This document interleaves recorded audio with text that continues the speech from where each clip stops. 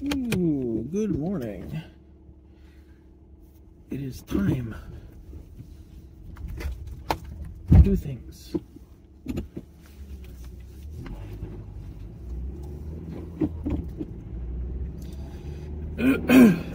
Not quite sure how, but there were a bunch of projects that wound up hitting kind of at the same time. Yeah, strangely, in the beginning of the new year, so it's uncommon. But I am keeping busy trying to keep up with international supply issues.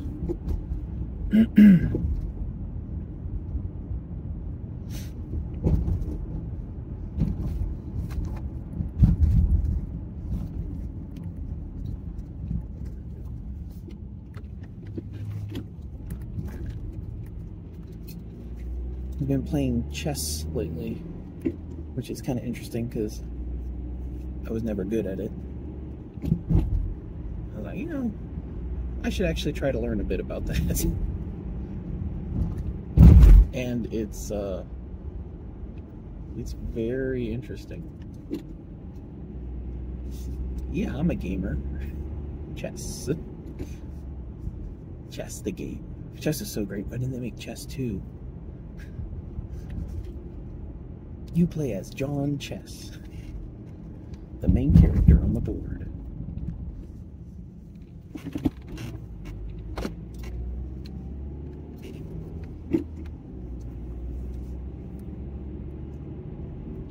I haven't, I have been amazed at how much my heart rate gets going just playing chess. it's not quite to PUBG levels, but it's definitely more than uh, other more allegedly exciting games. I had read a while back that uh, two grandmasters sitting in chairs across a table from each other, sorry, across a board from each other, um, burned as much calories as a marathon runner and I was like, oh, this because your brain's doing all kinds of stuff? Your brain is doing all the working overtime, consuming calories? No, it's uh, which is kind of kind of makes sense. I think the brain doesn't really consume a lot of calories. I think it's more impulses and stuff like that. Uh, maybe electrolytes, uh, ions. I guess it's not really. It doesn't matter. It's polar, um, but it's really just about heart rate. It's about stress and it's basically a prolonged period of high stress. And uh, as one uh, chess man, uh, Henry Chess, uh, Grandmaster, reported that he, over a, a, week of tournaments, lost like 23 pounds or something like that. As just like pure stress, heart rate, uh, extreme mental focus, and adrenaline probably I don't know. That's interesting. I wonder because uh, adrenaline would be related to you get the, like shakes afterwards. That'd be interesting to look into. Do chess players get the shakes afterwards. It's not quite fight or flight, but it is. It is like high stress. it's like everyone stops to look at you because you said something, and you're like, "I'm pretty sure that was the right thing to say," and I think they wanted to hear it, maybe, or I said it completely wrong.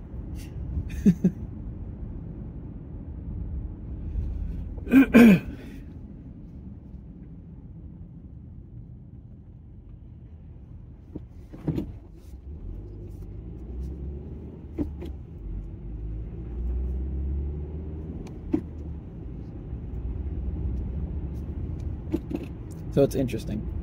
Um, I thought chess was like a, a pure IQ thing. It's it's kind of not. I don't think it, it's definitely a, a large factor, uh, but there's also just uh, chess. I, I, did not realize this, but chess is uh, mostly about experiences and uh, remembering patterns, learning patterns, and remembering patterns, which plays heavily into IQ. But if you don't have those patterns in your in your brain, then uh, they don't help you.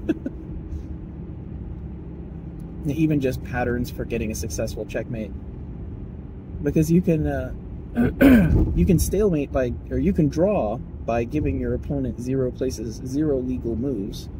And if you do that, then you you essentially lose. You you were you were winning, and then you put yourself in a bad position, or you allowed your opponent to set up a position where he gets a draw instead of a loss, and you get a draw instead of a win.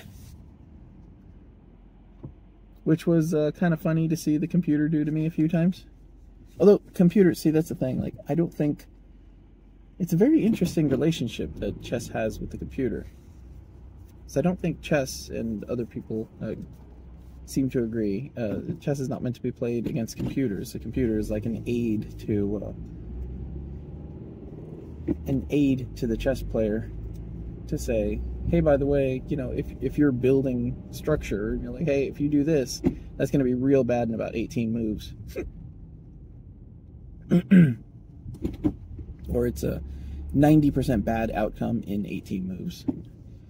Okay, well, I can't really see that far ahead, so thank you, computer. Uh, you know, you can explore forward to see what the bad things are, and then go, okay, I kind of get an idea of what's going on here. And all of this kind of hinged on, you know, me losing my light squared bishop here, or me moving my, me pinning in my light squared bishop. Uh, and you have to, they're not, well, I'm just starting out anyway, so it, it's for me, it's mostly fundamentals like build good structure and don't mess up your opening. And that's like you don't even get to play chess if you don't if you have bad openings. If you don't know how to open, then you you lose almost immediately. You don't have any structure. You don't get to play chess. You don't get to give and take and move and and strategize because the game's just over. You're just running around It's like a chicken with your head cut off.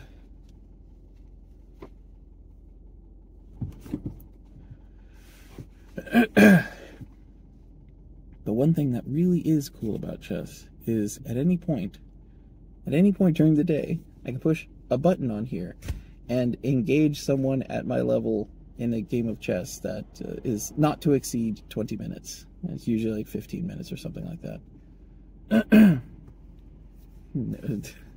and uh, practically, basically, uh, a figuratively infinite amount of uh, opponents at your fingertips.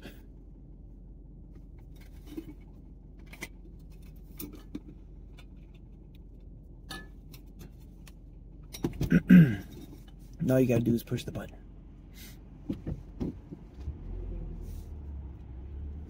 So it's it's interesting, and the more I learn about it, the more interesting it becomes.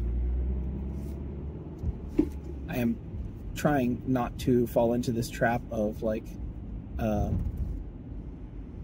chess as like a spectator sport because like oh i'm gonna you know now my, my my youtube feed is full of full of chess openings and stuff like that so i'm trying to i'm trying to kind of moderate things but um, the idea that there's just like uh, goodness brain is all the way to the brain today. Brain brain maximum.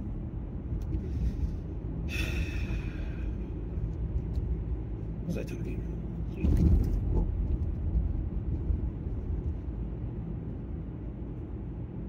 Oh yeah, I, I started up this expecting to talk about functional programming, and now now I'm over here. So I was meandering back to functional programming, and then I couldn't figure out how I got from from there to where I was to back here again. So I don't know. Functional programming is pretty cool. I am starting to get a, a, a greater, a better understanding of. Um, oh, right. Sorry. The, at this point, chess is just, for me, it's just doing openings, seeing a couple moves ahead, and knowing what to look for. The uh, the checks, the pins, and uh, understanding how you build structure and how the opponent builds structure affects what pieces are in play, what pieces are important, and what pieces are worth sacrificing in order to break things open and to get in. And it's very, very interesting.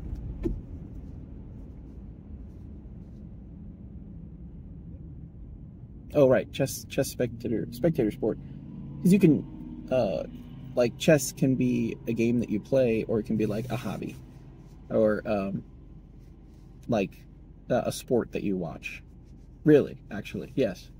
Because you could sit there and watch games and, and watch game plans and be like, oh yeah, that's cool. Oh wow, cool. Oh that's so great. Oh that's so creative. It's, uh, once you uh, have an ability to, you have sufficient understanding to appreciate the game, then you can watch lots of stuff and appreciate what's going on on the screen and appreciate the creativity and the expressivity that is uh, provided through the through the through the language of chess. because it very much is. There very much is a, a, language that's being spoken that's very interesting. Um, but if you don't play chess like what are you what are you doing? Like like you're not really applying this. It, it's just like you, you're just watching sports. You've got a little pennant that says go sports go chess.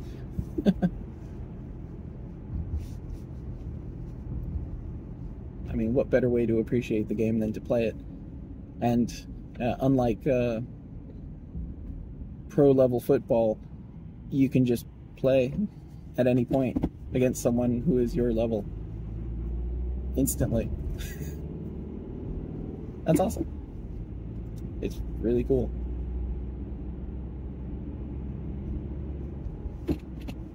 I guess theory is kind of what I'm, I'm thinking of. Like, I'm not even to a point where I can learn the theory. Um, I've definitely gotten out of my depth on some of these things. Uh, even uh, I was listening to a, a functional programming thing at uh, at Google. I was like, yeah, yeah, I'm keeping up here. And then I, the dude lost me at like the 16 minute part. 16 minute mark. I'm like, ah, this is this is over my head. I'm gonna have to come back to this later on. Goodbye.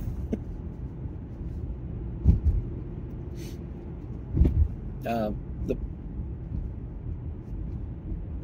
the the thesis that is uh, seems to be being built or that I'm building, uh, which is kind of the only thing that makes sense. I guess I, I don't know. The current thesis is uh, object orientation and uh, abandoning functionality was something that just kind of happened by accident, and that's it's a pretty disappointing thing about the uh, about the tech industry and uh, it's probably other industries where it's just like the best thing didn't necessarily win. The best thing you know there, there wasn't like a straight up uh, even evenly matched competition between languages and styles and paradigms. It was just like this works pretty good. Uh, let's let's keep using it. I don't like new things. Okay but here's why this is better That is brilliant, but I like this.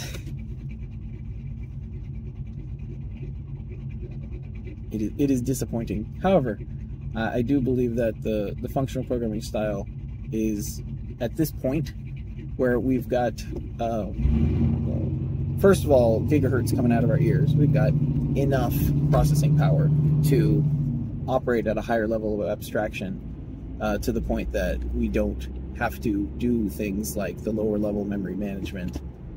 that stuff. All of that. Uh, along with the fact that functional programming reduces the mutable code and reduces the bugs. So as your code base gets bigger, it is scalable. As you need to double, triple, or quintuple or septuple performance, it scales up. That does not happen in object oriented, memory managed, or I could call it micromanaged because it's essentially what you're doing. You're taking all these things that need to be managed, and instead of saying, hey, computer, you know all this uh, uh, mumbling tedium you've got here? Uh, why don't you go ahead and take care of that for me? We say, no, no, no, I will manage. I will manage the memory. I will take care of it.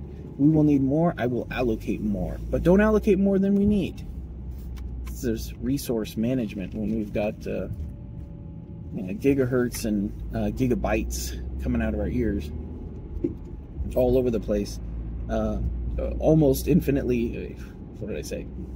Not practically, figuratively, infinitely scalable upward to to a point where you've just got a knob on the AWS that says, "Well, more power, crank." oh, I just turned up uh, 60 new servers to process during this peak time, and now I'm going to crank, turn it down.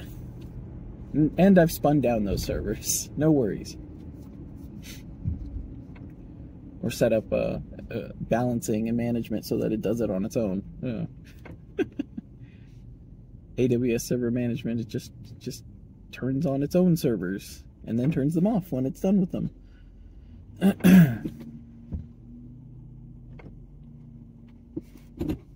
so it's just it's it is well I've said it for a while. It's not sustainable. It's not scalable and it cannot keep working the way that it's working.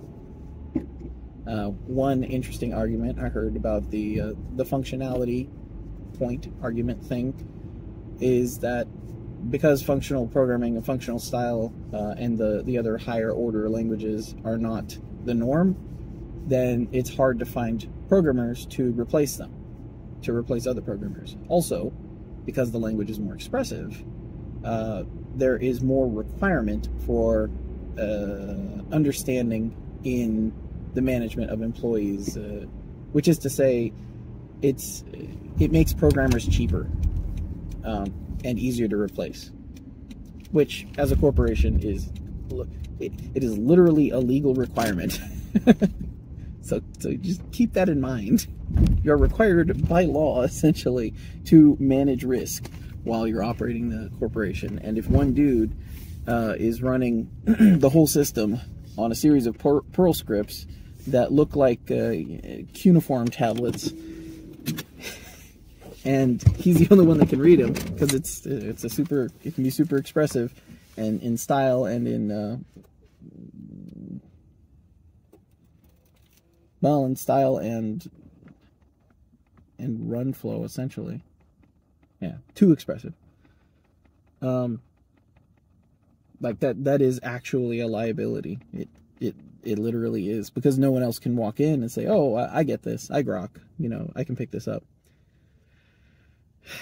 So we make it object oriented and say, well, now people can pick it up, and it probably takes about the same amount of time. but still, the, the the OO programmers are more available than the, the functional programmers. So it's, it's, still it's still backwards. It doesn't make a lot of sense. You, you set up expressive Haskell code, and it, it reads like a sentence, and you just like you, you you just read it. You read it like a book. At least Lisp uh, goes like infix. It's like reads from the inside out. So there's there's like that mental hurdle. Haskell's just straight. It's weird.